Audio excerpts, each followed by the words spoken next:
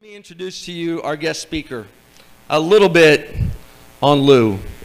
Growing up in a small town in Illinois, Louise, or Lou, uh, decided to join the Army in order to see the world. How many of you guys did that? To see the world? Yeah. And um, after graduating as a registered nurse in June of 1968, she attended basic training, then headed to Fort Dix, New Jersey, for her first duty assignment. In September 1969, she received orders for Vietnam, arriving there on November 1. During her year at the 91st EVAC hospital, she cared for GIs, South Vietnamese soldiers and civilians, and even Viet Congs and NVA soldiers. From malaria and hepatitis to double amputees, massive head injuries and traumas and deadly bullet wounds, Lieutenant Rao saw it all. Since 1970, she has made four returns to Vietnam. The latest in September of 2014. There might be another one in between it. And, uh, and when she joined 11 other veterans making their first return trip to the country.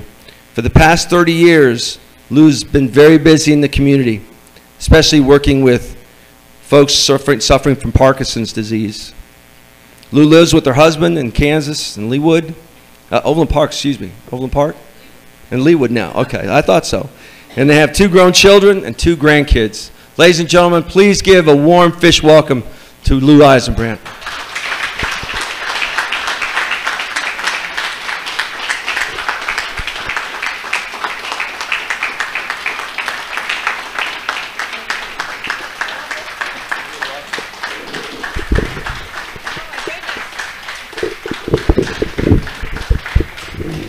I haven't, I haven't said anything yet. You're supposed to wait till I.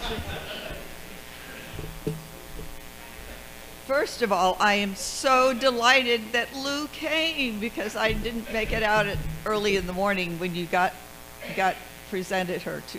So I am thrilled.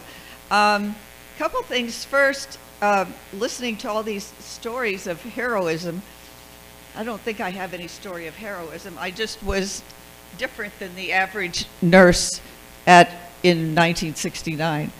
Um, there are there's a T-shirt that says not everybody wore love beads.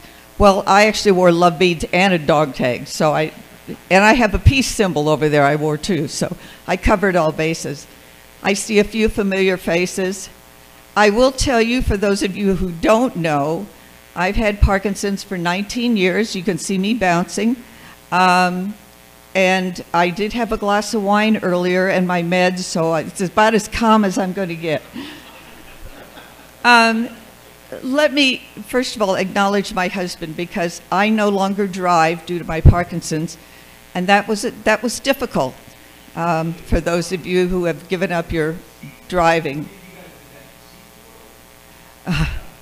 um, okay. I have a little competition from someone in the back. it's called the technical difficulty, and it happens to all of us. Um, anyway, so my husband Jim, is, who is now retired from a great law practice, uh, when people ask him what he does, he says he drives Miss Lou. So that's his new role. So thank you, sweetie. Um, I want to mention a couple things before I get started. I am living with Parkinson's, as I said. I've been very active in the uh, Parkinson's Foundation. I've had it for 19 years. I did file a claim with the VA in 2008, which was accepted, so I get a little stipend every month. And Parkinson's is kind of at the top of the list for things that are conditions that are recognized by the VA, um, thanks to Agent Orange, which, as we all know, has done wreaked havoc on lots lots of people.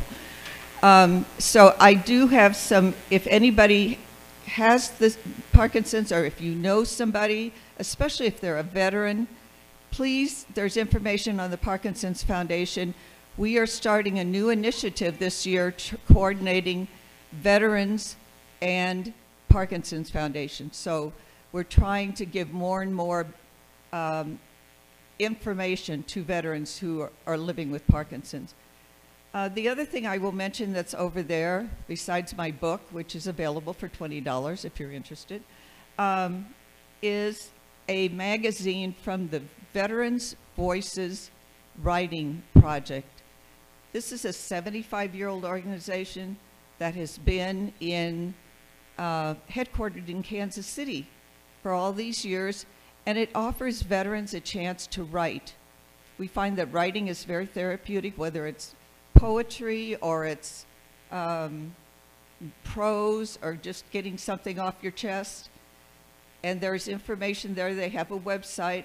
And if you are interested, they also now accept art and photographs.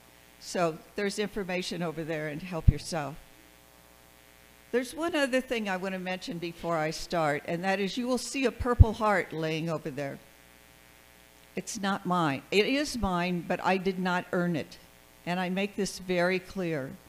I know we always hear stories about guys who, I say guys because most of the women didn't get medals, period, but who claim they got something that they didn't get. The Purple Heart that's over there was a gift to me from a patient at Fort Dix before I even went to Vietnam. He came back and he had some wounds that still needed attention, and he was on my floor as a nurse.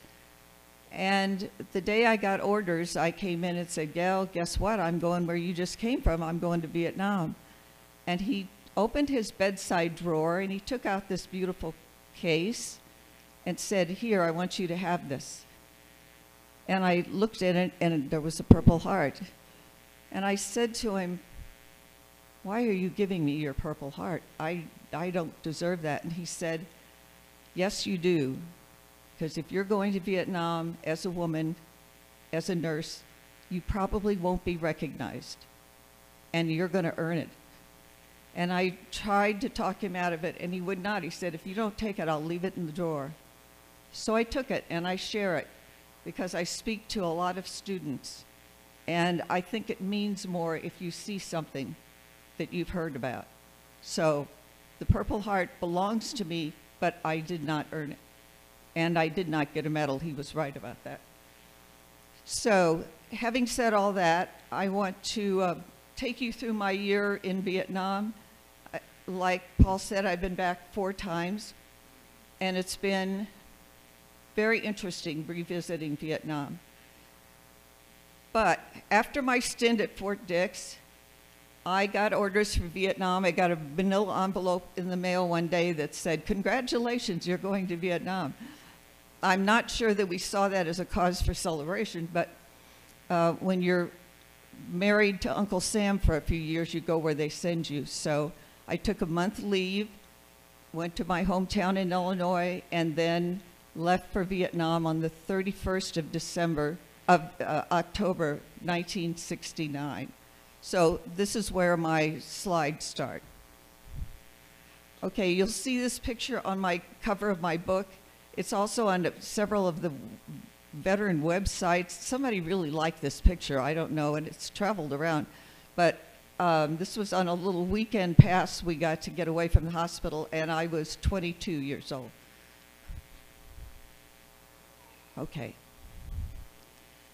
This is, from where I look at it, it's hard to see, but most of you know Vietnam, have heard, not, of course, you've all heard of Vietnam. Most of you know a little bit about the country. This is simply a map of the south part of Vietnam, which was known then as South Vietnam. And I was stationed at Chu Lai, which is near the top. There's a little asterisk next to it. Um, I always said if I had to pick it again, I'd go to the same place because we were, hospital was on a cliff overlooking the South China Sea, which was quite nice. Next. The day I arrived, I looked like this, and I looked like this for the rest of the year. We all wore fatigues, the nurses. There was one hospital in Saigon where they wore whites, but the rest of us all wore fatigues. I have my dog tags around my neck, and you can see there are lots of sandbags as protection against incoming rockets. So I spent four days in Long Binh before I, they asked me where I wanted to go. And I said, I've never been to Vietnam. How would I know where I want to go? Um, but my former roommate at Fort Dix was stationed at the 91st in July, and so I thought, well, at least I'd know one person. So I did get, my duty assignment was, was the 91st. Okay. And when I arrived at the 91st, five days later, it was monsoon season up there. So you can see that South China Sea was a bit angry, um, and they lost my luggage. So I arrived in a war zone with nothing but a toothbrush. Um, but they found the luggage eventually. So it's no different than domestic travel, is what I can say. Next. And eventually the sun came out. So this is the housing. This is where I lived. The on the bottom, uh, as I look at it, left-hand side. Is that right? There's an orange door. Okay, can tell what Parkinson's messes, messes with your spatial thing, and you can't remember if you're right or left. Anyway, that's that is my room. The orange door. Our rooms were basically eight by twelve something, with a single bed, a metal cabinet, and um, foot locker, and a fan if you were lucky enough to buy one from the person who vacated before you. The structure in front is a bunker uh, where we spent time when we had rocket attacks. The first person in got to chase out the rats because they lived in there when we weren't in there. So, okay. And as I told you, this wa- it was a beautiful location. And when it was 120 degrees, it was only 110 because we got a little ocean breeze. So um, I, in one of my trips back, where I know I got to where the hospital had been, if you look, there's a little island out in the middle on the horizon, and that's how I knew that I was back when we when I went back in 1996 because the hospital was totally gone at that point. Next. I take the I add this picture, and by the way, all of these pictures I took. Um, I add this picture for students who don't have a clue what Vietnam looks like or what the war was about sometimes. Um, but you can see it's a long, narrow country. Very, this was the hot and dry season. There are two, hot and wet, hot and dry. And the, um, the mountain range that runs the length of the country is in the background.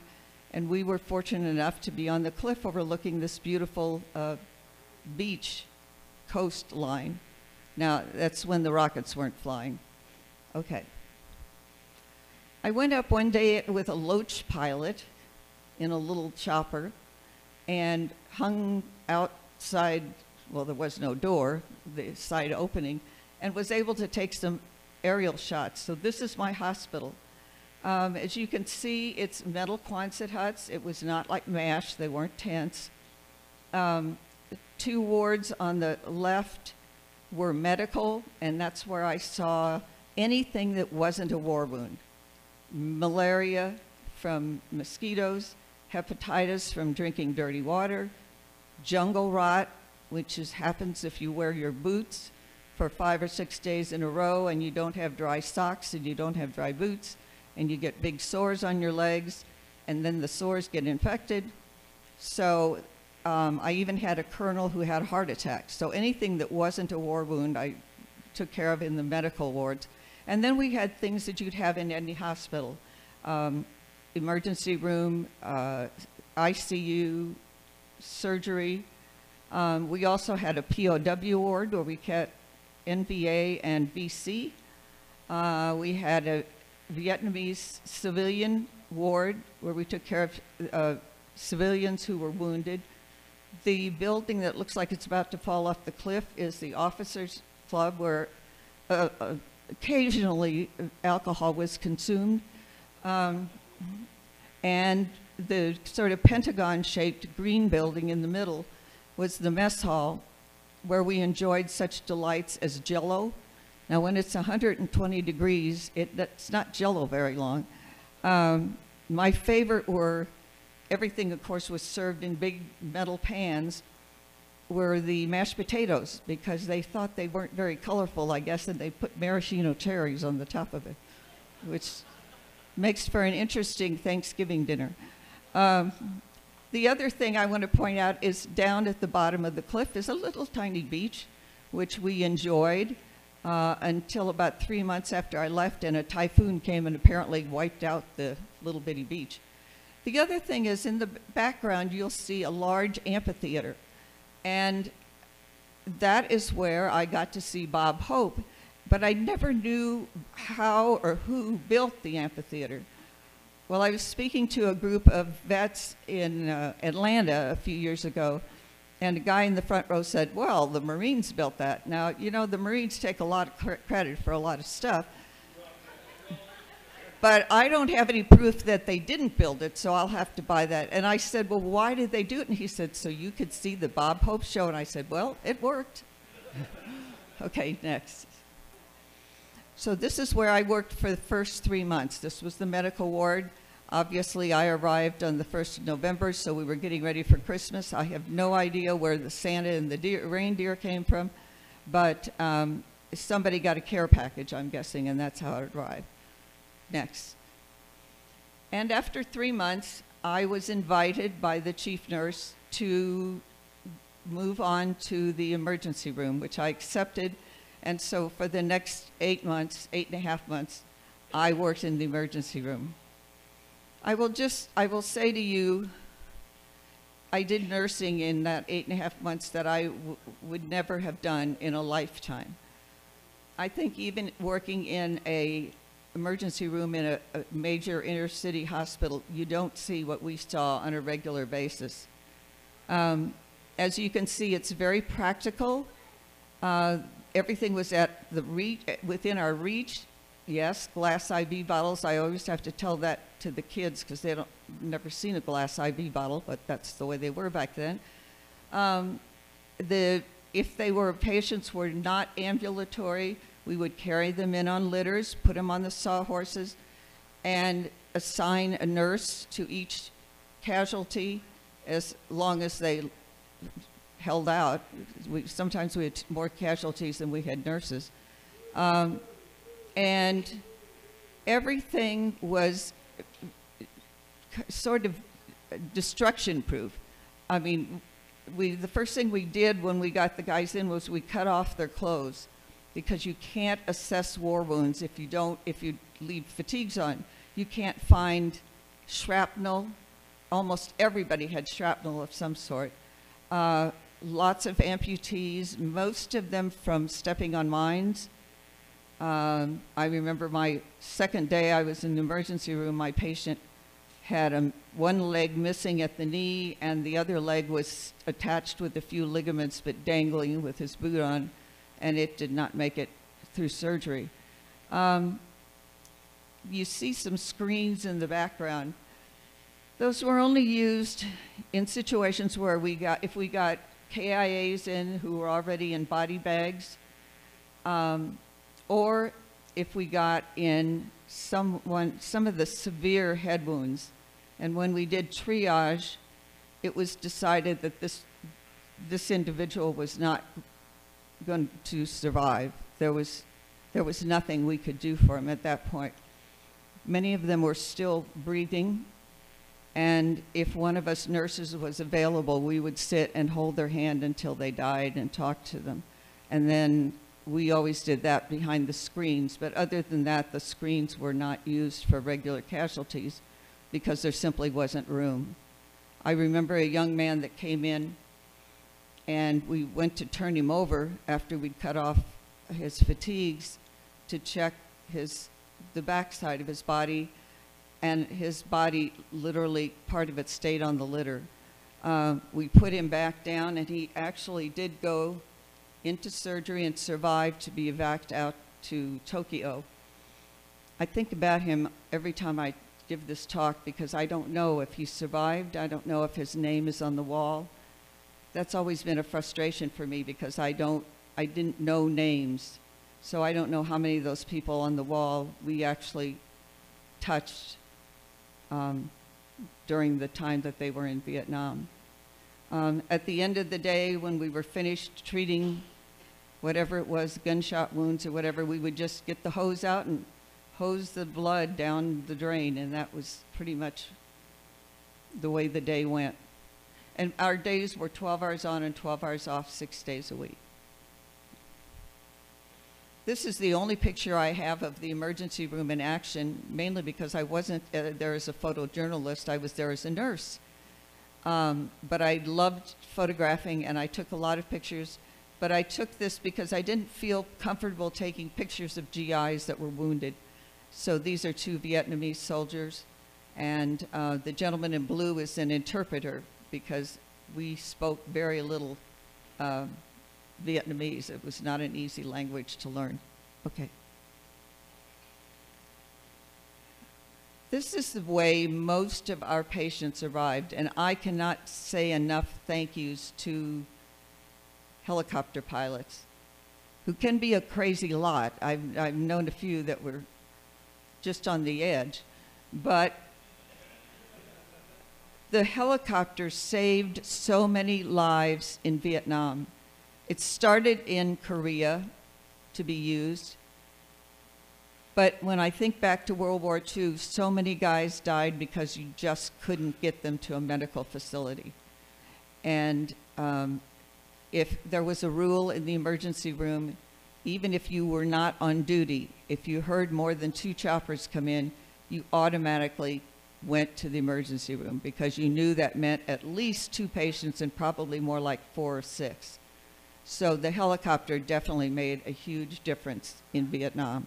Okay. And then you've got the biggest of the helicopters. Well, I don't know, there might be one bigger, but the, at, in Vietnam, this was the biggest one we knew. Um, you see Chinooks around here every once in a while flying, and you, I, I always, I always look up. It's just force of habit. Um, this particular situation was these guys were actually a band. They were all musicians before they joined the Army, and their job was to form a band and then go around to the different LZs, the you know wide spot in the road where the guys out in the bush could come in and get a decent meal and maybe a shower. Um, and they would go around and entertain the guys who you know maybe were out in the bush for four or five months. And I had a fairly decent voice, which thanks to Parkinson's is shot to pieces. But um, I went along on occasion as girl singer. And I got lots of attention because most of these guys hadn't seen a, a woman in six months. So it was kind of an ego booster, you know. I mean, how good could you look in a pair of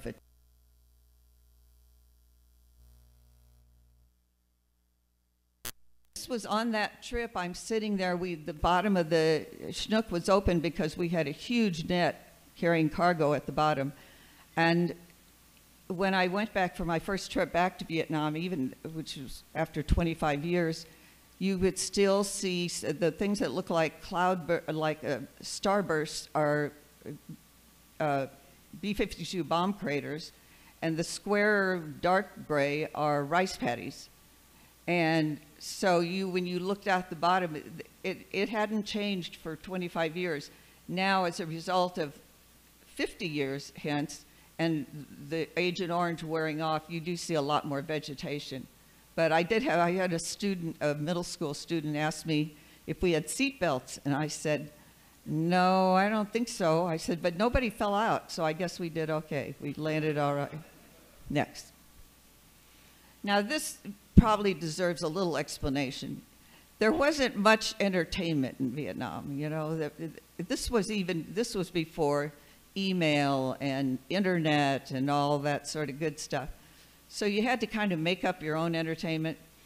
So these guys were um, some of the hospital staff, administrative and whatever. And the guy with the plunger on his head was obviously new, and they were reading him the rules of the hospital off the uh, uh, honorary uh, toilet paper roll scroll thing going on there. And a little alcohol was consumed during the whole process that made it very festive. Next. Yeah, that's my 22 year old body. Um, to which somebody said, I like you in the red bikini. I said, That's not even close to a bikini. Except my father did comment. He said, I hope you didn't pay full price for that because part of it's missing. um, we did water ski which I realize most people don't expect to hear, but because of where we were located, and again, I didn't know how we got the boat or the skis, but the same Marine took credit for it. So several of us did go out if we had a, a, a break in the afternoon. Uh, if we casualties weren't coming in, uh, we could take an hour or so and go out, and we'd go out and water ski. The only thing was we couldn't water ski after one o'clock because that's when the sharks came in. Now, how they knew it was one o'clock, I have no idea, but they seemed to gather about that same time. So, anyway, next. One weekend, as I mentioned, the picture that of me in the Jeep was taken this weekend. Uh, Two guys and myself decided we would get get a weekend pass just to get away from the hospital and go wherever. And so we took our flak, jacks, flak jackets and our steel pots and M16s and headed out for the weekend and went from Chu Lai up to Da Nang and then on up to Hue. Um, and so these are just pictures of everyday life in Vietnam. I mean, a war was going on, but they had markets and things of that sort. So you'll see um, a few pictures that look like uh, just the average Vietnamese life. Next. We were discouraged from stopping for refreshment at these stands because there was a way, and I don't know how they did it, but we actually saw a couple people that were injured that take the can of pop or beer, remove the bottom, and attach a grenade to the ring top. This was the old ring tops when you pulled it, you actually got something that came off in your hand. Um, and then they soldered the bottom of the can back on, and when you pulled the ring top, the grenade went off. So we stuck with canteens with water, and I had to tell the students no, there was no bottled water. It was called a canteen full of water. So we chose not to imbibe on the, the roadside stands. Thank you. Very typical, and you still see this in Vietnam. Rice is a major crop, and it's planted underwater. Uh, there is, you still see water buffalo. Uh, at least when I was there in 2014, I still saw water buffalo. Somebody on that on the trip that I was on in 1996 was a woman who had no idea about anything about Vietnam. She was a travel agent. And every time we saw a water buffalo, we had to stop the vehicle and get out so she could take a picture. After about day three, I said, listen, one water buffalo looks like the other water buffalo. I think we, we can do without any more water buffalo pictures. I don't know what she ever did with all of her water buffalo pictures. This is an interesting picture. This is, and you'll think this is really not terribly brilliant, but fishing is very big in Vietnam because they've got lots of water. And these were, we called these boats LRBs for little round boats. Now, how original is that? Um, but the reason I included is, first of all, you'll still see them today. But when we would go out in the boat with the skis, if the fishermen saw us, they'd stand up in their little round boat and wave their arms because we'd throw them the tow rope and pull them around behind. It was a little like an inner tube.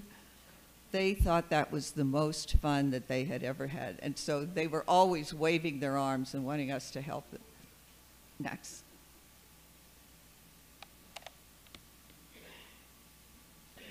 Sorry, if I don't do that, eventually my voice will stop. Um, I did take a 10-day R&R, and I went to Hong Kong, which was a fascinating city.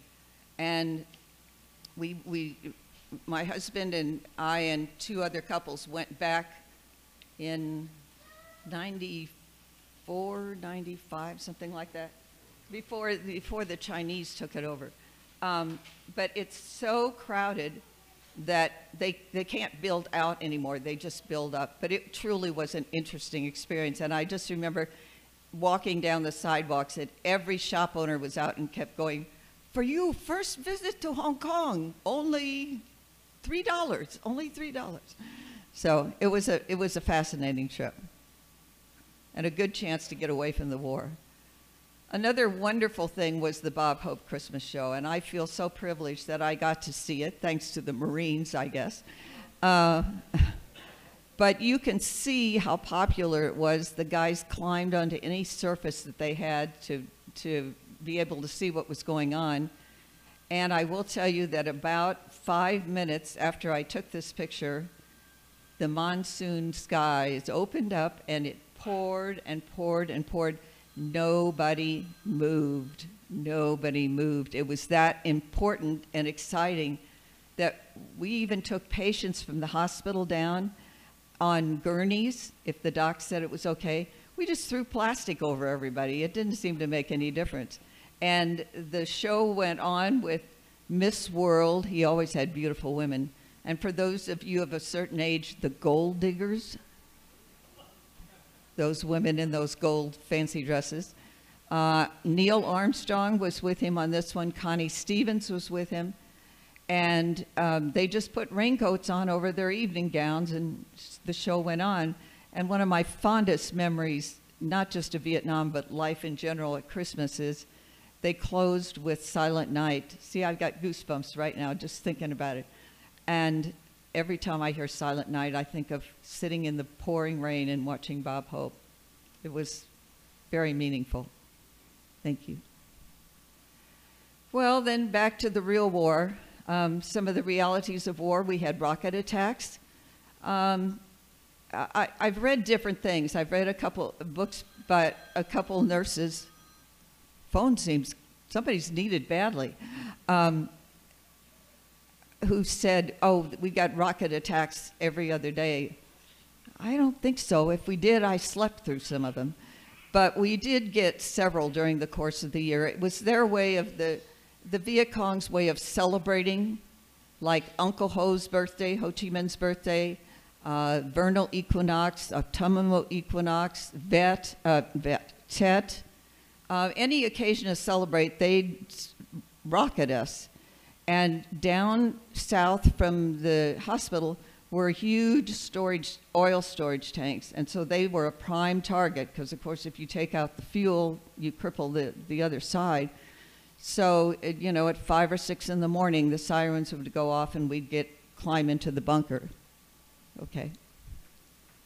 And that's my good friend who I ended up hooking up with at the end of the, after we got back to the United States. And uh, the young kids don't understand, but even in war, you want to look fairly good. So you slip, we slept with rollers in our hair. You ladies of a certain age remember rollers. You don't put your steel pot on over rollers in your hair. It's quite painful. So we let the guys wear the steel pots and we just put the flak jackets on. Okay. Uh, another reality of war, and especially I think Vietnam, was the loneliness and the boredom. And I think that led to some extent to the drug use. I don't know if the drug use was any worse in one war versus the other. There was always something to uh, try to fill that spot where there was nothing happening.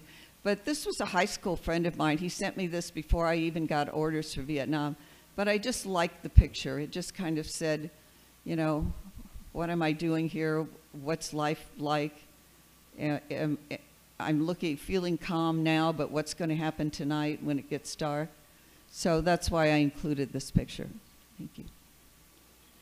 Another reality of war was Agent Orange.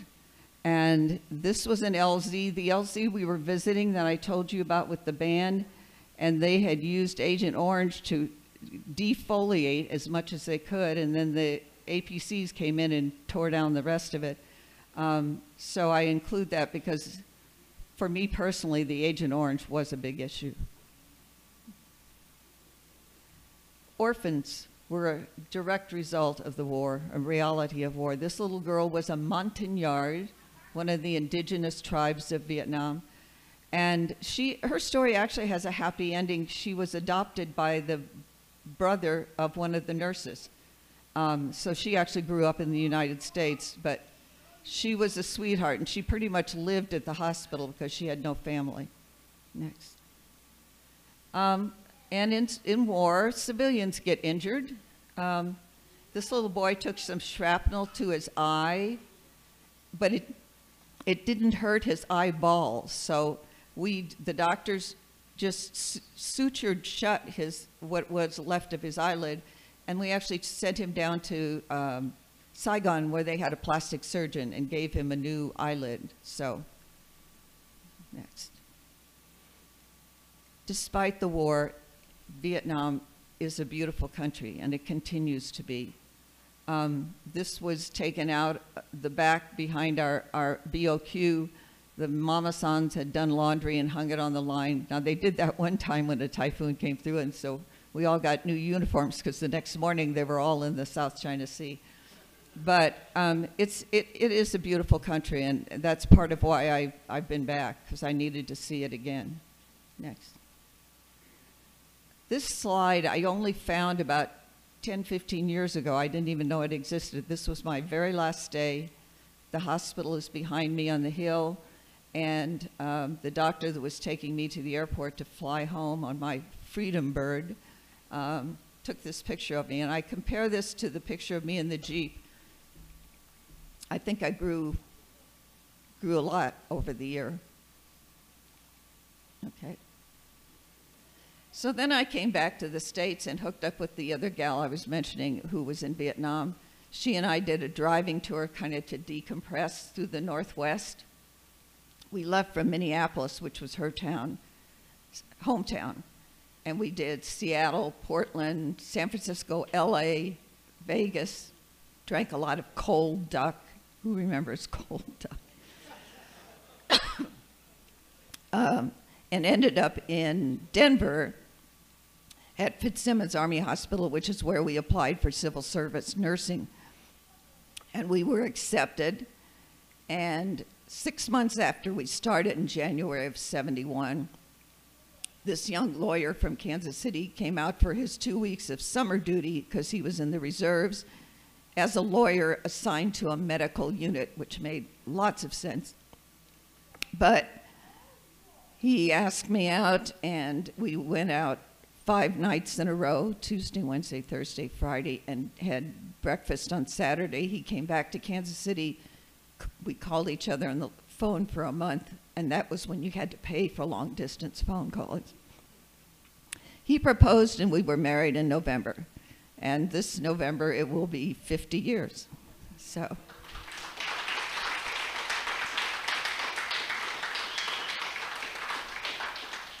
And by the way, we, we've been back to Fitzsimons a couple times recently. It looks so tiny next to the big hospital complex that's there now. It just it looked looks a lot different than it does now.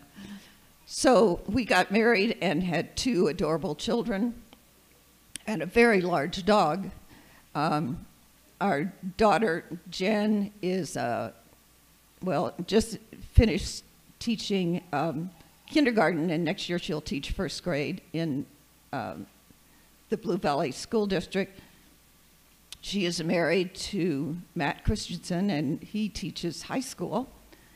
And we have a Jen and Matt and a Jen and Matt. Our daughter Jen married a Matt, and our son Matt married a Jen. and so our son Matt uh, lives in Victoria, British Columbia, and he's a human rights lawyer, and he's married to Jen, who is also a lawyer. So it's, it's easy, you know, you get matching towels, you can give them to, to each couple because it works that way. Okay. I have been to DC several times, and whenever I go, I always stop to see Sharon Lane. There, her spot on the, the uh, wall, there are eight women whose names are on the wall. And Sharon was killed by direct enemy fire at my hospital about four months before I got there. A rocket hit the hospital and she was working, she was killed. So I always stop to visit where she is on the wall. Okay. For those of you who haven't been able to see it, this is the woman's Vietnam uh, statue at the wall. I was back for the dedication. It's a wonderful, wonderful piece. It's three nurses administering uh, aid to a wounded soldier. And if you have a chance to go back, I highly recommend it. Okay. I've been back to Vietnam four times. This was on my first trip back. I went with a group of travel agents because I was working as a travel agent at the time. this was what's, what was left then of the Hanoi Hilton, the prison where many of our POWs spent years. Um, we weren't supposed to be back there, but you know, I snuck back anyway. And what you're looking at are uh, um, cells that were about eight by 10 and housed eight POWs in each cell. Um, and it has, this has since, this was in 1994. It was, when I went back in 96, it was torn down, gone, and replaced with something else. There is still a museum that you can visit, which is very interesting. Next. My trip back in 96 took me to where our hospital had been. This was the old gate. I went with a friend, and the driver, who was young, said to our guide, who was a college student at the end of the war in 75, he knew he could get us to see where our hospital had been. And so this next picture is shows where the hospital had been. And if you look real carefully, there's an island out in the middle, and that's how I knew it was where there, the buildings were, but there's, there was nothing left whatsoever. Okay. That's my friend, who actually I played golf with this morning. Um, that's on China Beach, which got famous with the, the television show. Um, I never got to China Beach before the war, or during the war, but she and I went later on. Okay. Uh, another trip was in 2013, took us to the tunnels in Cu I always tell people, I personally, this is a personal feeling, that if you want to understand why we were probably never going to win that war, when people can live in underground tunnels, uh, three levels, and some of them were as shallow as two feet, with no electricity, and they even had schools and hospitals underground. It's difficult to fight an enemy that can sustain those, those situations. Um, but they've hollowed out some of the tunnels so you, humans can now go through. You have to go through on your knees in some of them. Um, the, the slide on the right is in, taken in Halong Bay, one of the prettiest spots on the face of the earth. These are all underwater mountains. Okay. This is the group I went with on my last trip. These are students and faculty from the College of the Ozarks in southern Missouri. They are very high on veterans, and starting in 2009, they would take 12 veterans, partner them with 12 students, and make a visit to where those veterans had served. They had only done World War II and Korean veterans until 2014. They made their first trip to Vietnam. This gentleman on the left was a POW at the Hanoi Hilton for six and a half years. And he's explaining to these students on a mock up of the, the prison where he was and who was in the cell next to him. Um, the picture of us, uh, we are all gathered on the beach. I just have to say, I have such respect for POWs. When I listen to him say, point to black and white pictures and say, you know, I remember that guy, he was in the cell next to me. It just gives me goosebumps to think about it.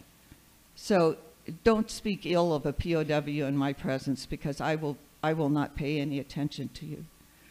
And I'm going to finish with a poem it's from my book.